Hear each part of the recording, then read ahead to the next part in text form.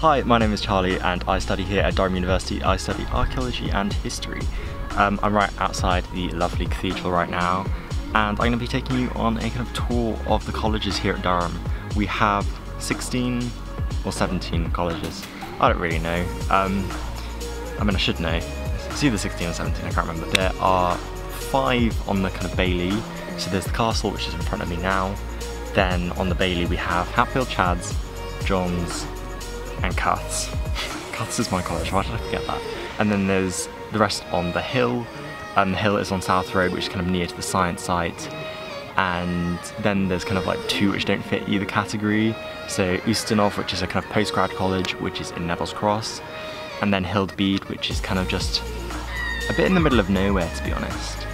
Um, but anyway, I'm going to be taking you on a tour of these colleges today. Firstly, let's start with University College, or as most students like to call it, Castle. Now, Castle is the oldest college at the university, with the castle being established well before the university. The castle was actually given to the university when they first started. Since then, it's become notorious as one of the posh colleges around Durham. You're likely to find people wearing red chinos there and having holidays in the south of France. Whilst it might seem like you'd be living your dream life in a castle, not everyone gets to live in the castle, although they do have a really nice bar called the Undie. Castle is a catered college which means the food is cooked for you and they have gowned formals as well.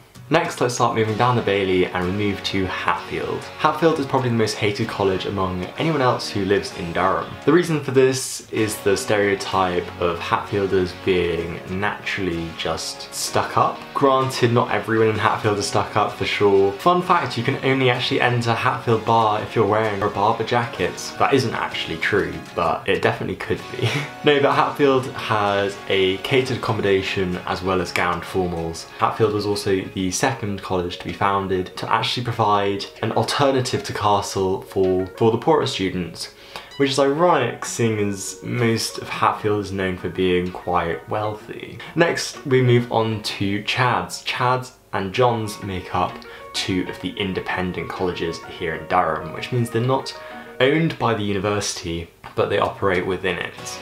It's a weird system and I don't truly fully understand it because I'm not part of Chads or Johns. However, Chad's is a relatively small college situated right opposite the cathedral in a prime location. Quite honestly, they have one of the nicest bars in the whole of Durham with a glass-like conservatory feel and it's honestly just amazing. They're also catered and they also have gowned formals. Chad's is also the smallest college in Durham, so if you want a quiet area on the Bailey, it definitely makes for a good location. Next we have John's, St John's, whatever you want to call it. John's is also one of the unaffiliated colleges and also another really small college, which is roughly equal in size to Chad's. People in John's are known for being very religious, they have their own church outside of the college. And one amazing fact about John's is that they have free laundry and no other place in the university offers that, so if you want to save on laundry costs because P.S. they cost a lot, then definitely consider John's as a great place to go. Finally, the last college on the Bailey, and obviously the best, is Cuths, and Cuths is my college. It is an absolutely wonderful college. Cuths actually has two sites, one on the Bailey at 12 South Bailey, and one at Parsons Field. I was actually in the Parsons Field site for my first year. Everyone in Cuths, their stereotype is known to be kind of laid back, quite chill, but outgoing and fun. Cuths actually has catered and self-catered accommodation, so catered is on the Bailey and self-catered is over at Parsons Field. And with two sites, it also means that Cuths has two bars. Formals aren't gowns, so you don't have to wear a gown, but you can if you want, but no one really does, which makes it one of the best colleges on the Bailey for kind of a laid-back vibe. Next, let's move up the hill and let's start with Grey. People in Grey are often known as Grey by name, Grey by nature. Grey sits literally right off the science site. So if you're a science student, you can literally like roll out of bed and you can be in your lectures in like two minutes. Food in Grey is catered and they hold formals that are gowned. They're also one of the best colleges for sports coming in third last year. Next, let's move up the hill to Collingwood. Collingwood is known as the sporty college. I think they've won every single intercollegiate college sport tournament for the last 10 years. Collingwood's a great place to give sport, however, they do have the largest college, so it would kind of make sense to be the best at sport. I do love their mascot. Their mascot is a stag which sits overlooking Collingwood as a whole. Plus Collingwood has an AstroTurf and some cricket nets. Collingwood is catered, but they're not gowned for formals, so if you want a more laid back vibe, Collingwood is definitely a great college to consider. Also, they definitely have one of the best bars on the hill, if not the best. In my opinion anyway, it's, it's amazing. After Collingwood we have Josephine Butler, which most students will call Jobo. Jobo is known to lie at the top of the hill. Jobo does have this really cool mole hill kind of thing. This is what people call the top of the hill up at Jobo. With Jobo behind me and then Stevo over there. Cathedral in that direction as well as John Snow south probably can't hear me. The whole of Jobo is actually self-catered, so if you really want to make sure that you are self-catered, Jobo is a great option for you, and their formals are gowned. Just next to Jobo there is Stephenson, also known as Stevo. Much like Jobo, Stevo is all self-catered, although their formals aren't gowned. I don't really know a whole lot about Stevo, although they were one of the colleges that moved over from the old campus down at Stockton. So you could say that sometimes people forget about Stevo. It's not the most memorable college out of them all, but if you want a bit of peace and quiet tucked away at the top of the hill, Stevo is probably a great college to go to. Next, let's cross over South Road to John Snow, John Snow, I think, has been totally rebuilt. So they've got a brand new site next to South College. They're actually going to share this hub building with South. John Snow is also self-catered and they have gowned formals. Just next to John Snow is South. South College is actually brand new for this year. So if you're looking for some absolutely brand new facilities and a clean slate to start traditions on, then South is a great college. They have brought in new people to be your kind of freps, so there are people in South College who are in the years above, but they have transferred from other colleges. South is a fully self-catered college and they will have gowned formals. Next, let's go to Aidan's. Aidan's is tucked away at the top of Windmill Hill, and it honestly just sounds really idyllic. They have a great view of the cathedral from there. And honestly, I don't really think many people go there in the first place. So I've never actually been to the college bar. Like, I, I didn't even know really where it was, to be honest. But they do have a really nice place. Although, they do have a courtyard which looks a bit like a prison.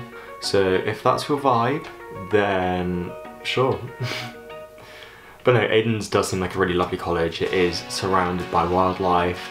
Although it is up like 80 steps from other colleges. Aidan's is fully catered and their formals are not gowned. After Aidan's we have Van Mildert, also known as just Mildert. They are known for having a lake literally right outside their college.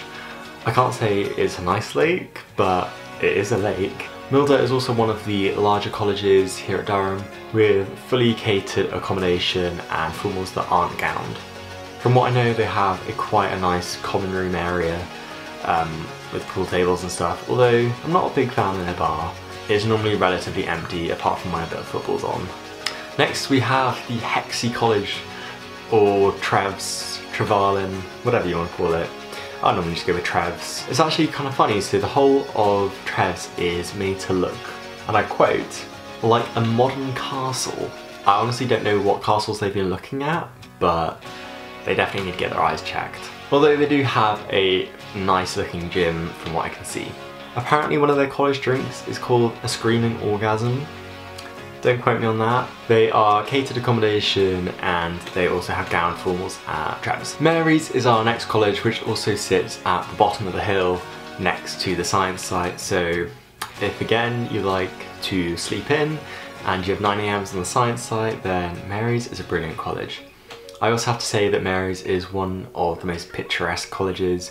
It has a fantastic view of the cathedral and it just looks grand. One thing I love about Mary's is I asked what its college mascot was and someone told me, and I quote, a griffin or something. But in recent years, someone's just slapped on a meerkat costume and called it a day. No, in all honesty, Mary's is lovely apart from their bar. Their bar is where the loveliness stops. And no wonder there's something called the Mary's Challenge, which is where you put a shot in your mouth, you don't swallow it, and you've got to run from the bottom of the hill in Mary's to Cuths. And if you make it, you complete the Mary's Challenge, and you're no longer in Mary's Bar, which is probably quite a good thing. But they have catered accommodation and gown formals. Well that's it for the Hill Colleges and the Bailey Colleges, but there are two outliers which I said in the beginning, Hild Bede and Ustinov. So let's go to Hild Bede. Hildbead lies to the north of the city, but really not that far away from anywhere. Although saying that, everyone does say that Hildbead is kind of out the way and you'll get lost if you go there. Although Hild Bede does seem like a bit of a, like a maze when you go there. Although it has great views of the river and the cathedral, which I love. It is catered, but the formals aren't gowned. Finally, we have Ustinov, Ustinov, whatever you want to call it, and this is a postgraduate college only.